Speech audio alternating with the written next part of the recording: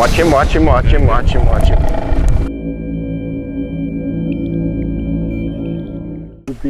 Last time, the team struck gold with the camera traps. Oh my god! Spot. Spot. When was it? The next But day? bitter disappointment oh. awaited them at every trap they'd set up. This time, they've got more to worry about than the big cats. And they discover a very strange animal that may just lead them to their prize.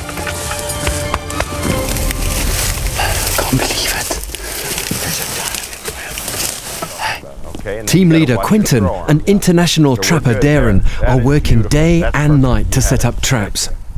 That is In setting one of these devices, uh, our big concern, of course, is the welfare of the animal, the safety of the people that are working with the animal.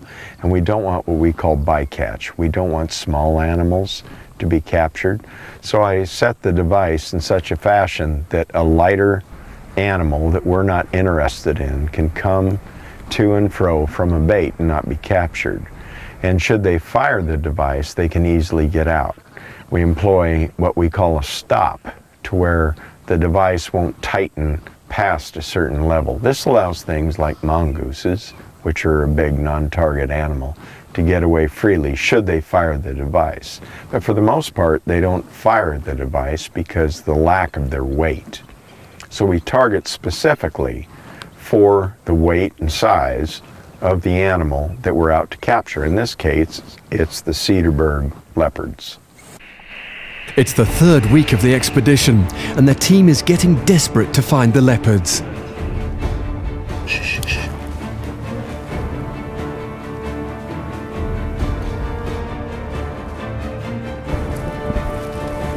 Patience and time is running out as the team leave no stone unturned on the trail of the leopard.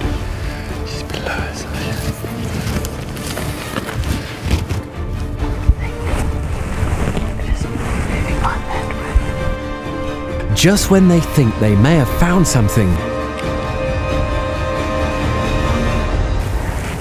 She's really messing with us.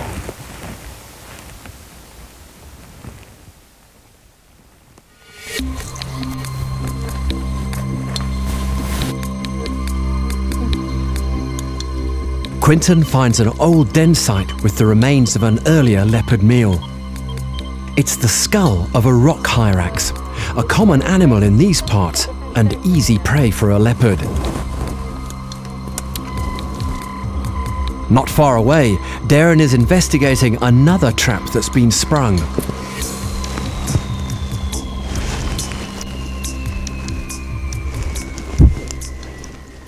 Baboon was a baboon. What you can see here, see a baboon was caught here and he went across, across, slipped it, ran off.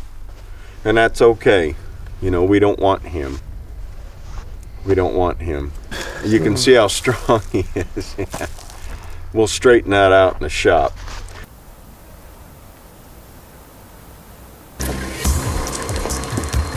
This is wild territory and not only home to the Cape leopard. Deadly Cape cobras thrive in this habitat, as do scorpions. This is Opistophthalmus patersona. The guys use their pincers to uh, catch their prey, so the tail's quite small, so they're not that venomous compared to the parabuthids and that.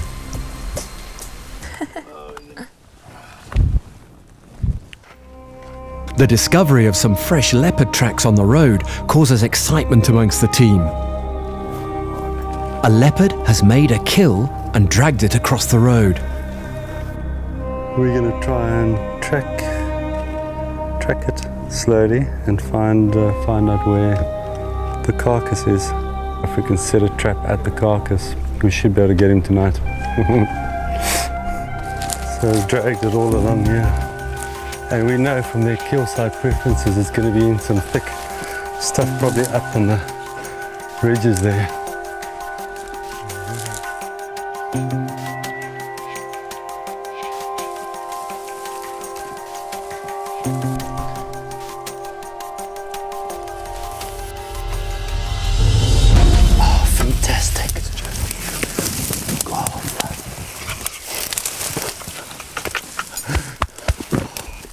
ah, the first record of aardvark we've ever had. Isn't that awesome? Look how big he is.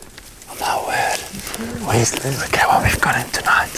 Quinton is thrilled, not only because he's found the leopard's kill, but the kill turns out to be an aardvark. The first time he's ever encountered one as part of the leopard's diet. The aardvark, whose name translates literally as earth pig, is notoriously shy. But because of its size and fleshy body, it would make a great meal for a leopard. Check those teeth. Stuff and look at the raking marks of the claws. Leopards typically return to their prey, so all bets are on that the leopard will come back for the remains of the aardvark later. Darren sets out to turn the animal itself into a trap.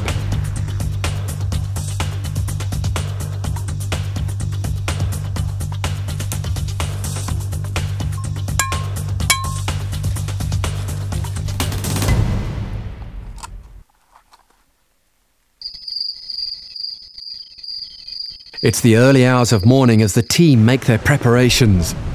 They're confident that this time they will strike gold.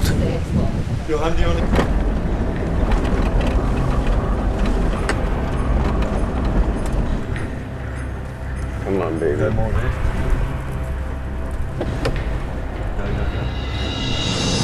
There he is. Take him. Take him. go. Male, male, Well, there you go. Go ahead and take him in the shoulder Three part. All right. Let me just get him.